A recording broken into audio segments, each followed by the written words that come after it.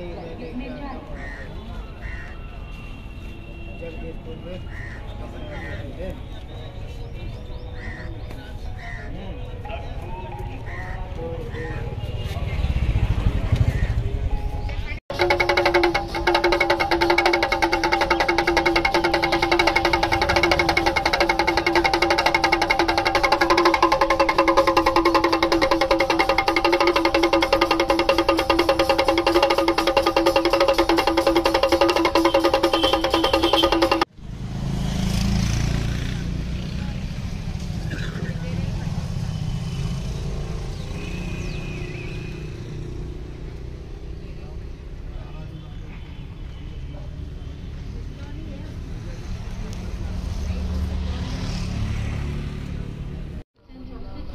रुद्राक्ष वाले बाबा ये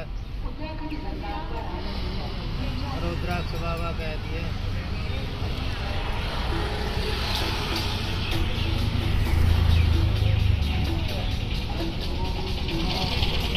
देखो, ये तो हमारे सनातन धर्म की आस्था है। नागा सन्यासियों के दर्शन करने के लिए लोग आते हैं, श्रद्धालु, भक्तजन आते हैं, जो भी कुंभ मेला में दर्शन करने आते सब तकरीबन नागा नागा साधु के सन्यासियों के दर्शन करते हैं। रुद्राक्ष है।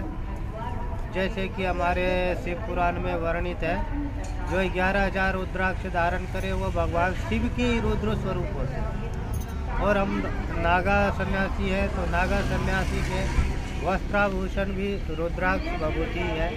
इसलिए हम सब नागा सन्यासी से धारण करते हैं 2004 से मैंने स्टार्ट किया था धारण करना रुद्राक्ष। अधिक संख्या में।